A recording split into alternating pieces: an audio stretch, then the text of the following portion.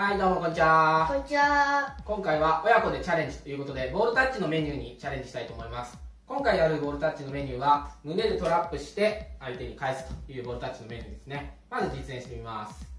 お父さんお母さん側が子供の胸のあたりにボールを投げてください。それを胸でトラップして、インステップかインサイドのキックでお父さんお母さんの胸に向けて返します。やってみます。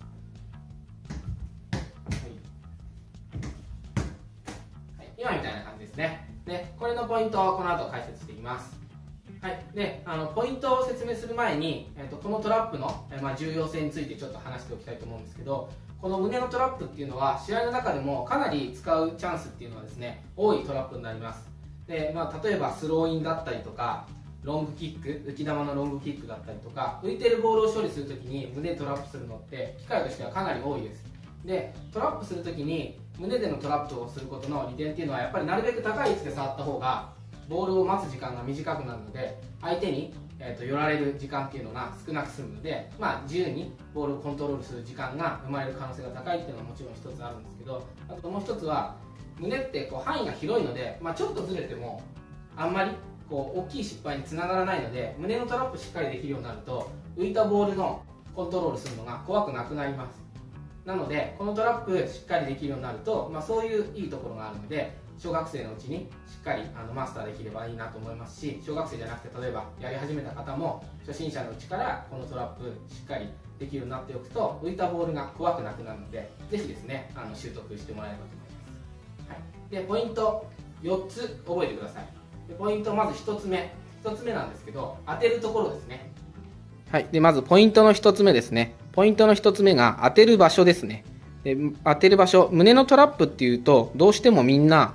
この胸の真ん中の骨の硬いところで最初止めようとするんですけど骨の硬いところでやるとうまくショックを吸収してあげられないので実際に当てるところっていうのは両方の胸のこの乳首より少し上のところですね。こう胸がちょっと斜めになっているところにこの辺りに上げててあげてください。このユニフォームで言うとマークの上ですね両方とも。この辺りにあのボールを当ててトラップしてあげるっていうのがまずポイントの1つ目です。でポイント2つ目。でポイントの1つ目で当てるところについては話したと思うんですけど当てるところはここで今度この角度ですね。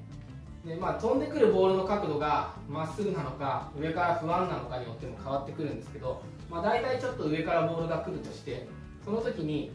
まっすぐ立ってるだけだとボール自分より遠いところに跳ね返っていっちゃいます。なので少し角度をつけてあげるために少し反ります。でこの角度この反る角度の調節でボールが飛んでくる。角度に合わせて調節してあげるとちょうどいいところにボールをトラップすることができます。なのでこの角度ちょうどいい角度このボールが飛んでくる向きだとこの角度がちょうどいいんだなっていうのを見つけてあげてください。それがポイントの2つ目です。でポイント3つ目。ポイントの3つ目が、えーと、ボールの落としどころですね。ボールの落としどころ。まあ、トラップしてあげた後に、まあ、この反る角度とかでどこにボールが置けるかっていうのを調節してくださいって言ったんですけどボールの置きどころとしてはあんまり近くに落としすぎると次キックがしにくいです。で逆に遠くに来すぎても当然キックしにくいので、まあ、ちょうどよく蹴りやすいところに落としてあげるっていうこのボールの置きどころについて意識することが3つ目。最後4つ目。これちょっと最初慣れないうちに非常に多いと思うんですけど特に小学生ですね。どうしてもですね顔の近くにボールが来るので怖がって顔がちょっとこうボールから逃げちゃうんですね。でただボールから逃げるとこの胸の角度逃げた方向に斜めになっちゃいます。そうするとボールもあちこちに散らかってしまうのでやっぱりちょっと怖いかもしれないけどしっかりここに当てれるように最後までボールを見てあげて顔を背けない。背けると胸の角度も変わっちゃうのでボールがいいところにトラップできなくなるので最後までしっかりボールを見てあげる。ボールを背けあの顔を背けないっていうのが4つ目のポイントになりますはいじゃあこのポイント4つを踏まえて、えー、と1回コーチ側の方で実演してみたいと思います。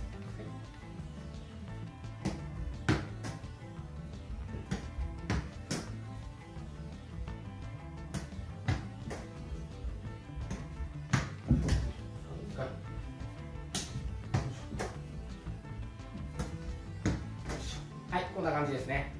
まあ、今みたいにちょっとまあボールに合わせてこの角度をつけてこの当てたい場所に当ててあげてであんまり近くに落としすぎずにちょっと離れたところに少しだけ離れて切りやすいところに落とせてたと思います。はい、でじゃ最後にですね、えー、と親子でチャレンジなので、えー、と子供側の方で実演しておしまいにしたいと思います。はい。よしね1 2 3 4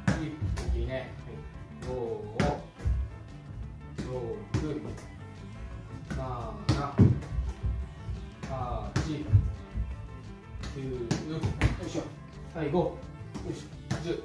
はいこんな感じですね。まあ最後1回失敗しちゃったけどまだ上手にできたと思います。でこの胸のトラップも浮いてるボールが来た時に上手にできると焦らずに余裕を持ってプレーすることができるのでえーとですねまあ、小学生の子あとは始めたばっかりの初心者の方とか初級者の方もぜひこの胸トラップもマスターしてもらえると安定して余裕を持ったプレーができるようになると思いますので頑張ってチャレンジしてみてください。